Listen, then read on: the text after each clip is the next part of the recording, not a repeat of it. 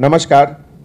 आज Hyderabad city police west zone task force के तरफ़ से दो नोटोरियस क्रिमिनल हाउस बर्गलर इनका अरेस्ट हुआ और इनके अरेस्ट के बाद इनके पास से 246 ग्राम्स ऑफ़ गोल्ड ऑर्नामेंट और 50,000 रुपीस कैश का रिकवरी हुआ।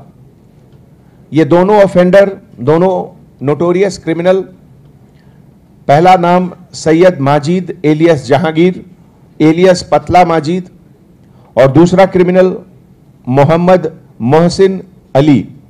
ये लोग दोनों हाउस बगलरी करते हैं, और अभी प्रेजेंट केस में टप्पा चबूतरा केस सेकेंड जुलाई को हुआ था, जो crime number 158 by 2019 under section 457 380 IPC of police station Tappa Chabutra में रजिस्टर हुआ।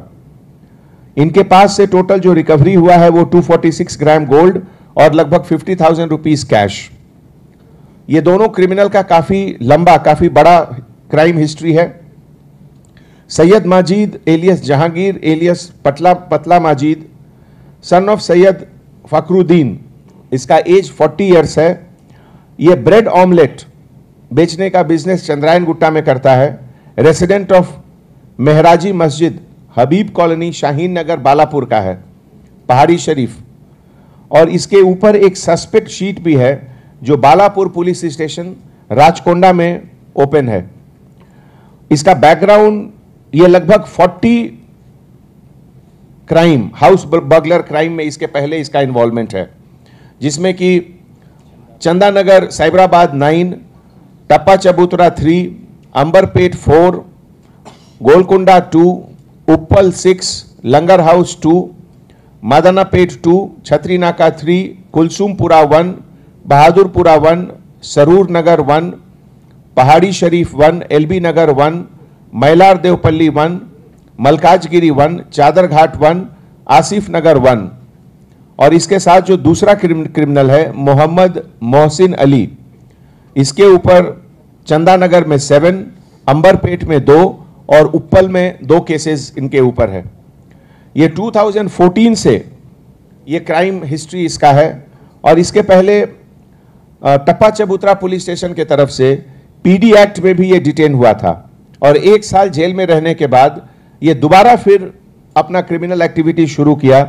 तो 2017 में बहादुरपुरा पुलिस स्टेशन में भी इसको पीडी एक्ट के अंदर जेल भेजा गया था।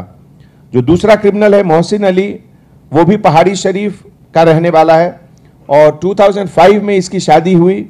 उसके बाद ये लोग कभी कभी ऑटो चलाते, लेकिन अपने बैड हैबिट्स के कारण ड्रिंकिंग और ओवर ड्रिंकिंग और इस तरह के बैड हैबिट के कारण, ये अपना फैमिली को मेंटेन ठीक से नहीं करता।